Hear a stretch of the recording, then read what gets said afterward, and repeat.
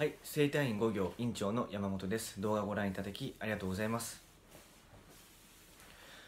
はい、今日はですね、椎間板ヘルニアの自分で、えー治療できるセルフケアその1というのをお伝えさせていただこうと思います。前回はですね、あのヘルニアの本当の原因は、えー反り腰で、その反り腰を作っているのは実は筋肉なんですよということをお伝えさせていただきました。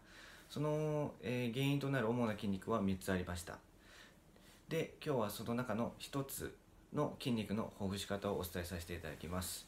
それはですね大腿筋膜腸筋と言います。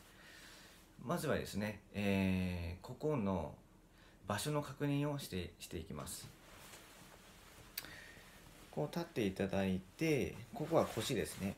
腰の横横のあたりにこうちょっと待ってください。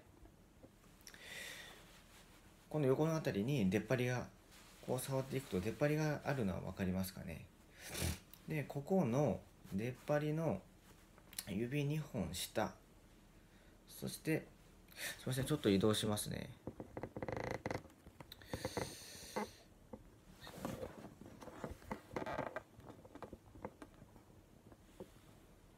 はいすみませんお待たせしました。すみませんあの出っ張りですね。出っ張りの出っ張りが見つかったらここから指2本下。そして指2本下ここから、えー指3本横ですね。のここ。この部分に今日はテニスボールを使いますのでこのテニスボールを当てます。そしてその状態でですね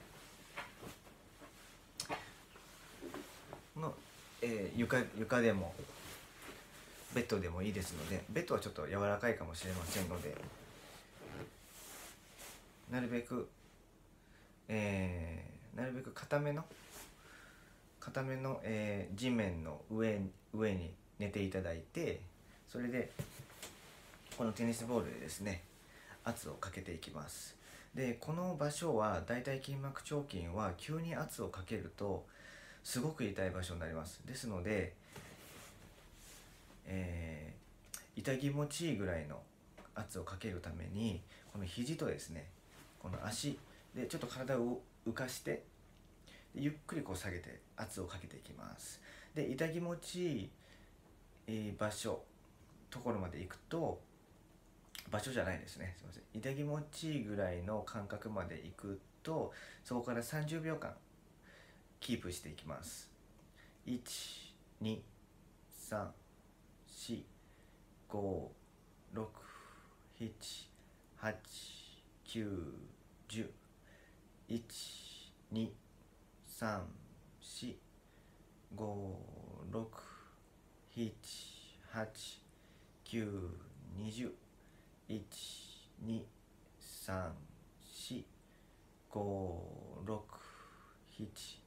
8930はい OK です。じゃあ次は反対側をやっていきます。ま反対側も同じようにですね骨盤のこの横ここはここの辺りですねあの出っ張りがありますんでこれ見つけていただいてここからですね指2本下そしてここから、えーここから指3本横のこの部分ですね。この部分にテニスボールを当てていただいてそのまま、えー横になります。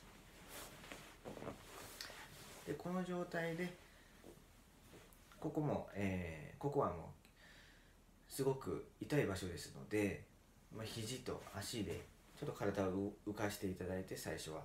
でゆっくりと下ろしていただいて痛い気持ちいいぐらいのところで止めていただいてその状態で30秒キープします。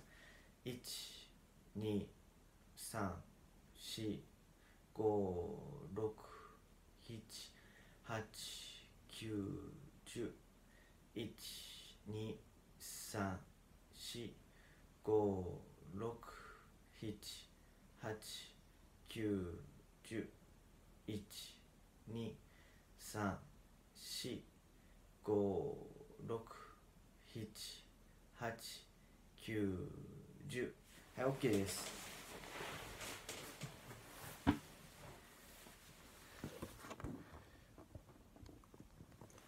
これですねあと残っている筋肉があの2つありますね。この2つの筋肉のほぐし方は、えー、次はあ2つの中の1つの筋肉ですね。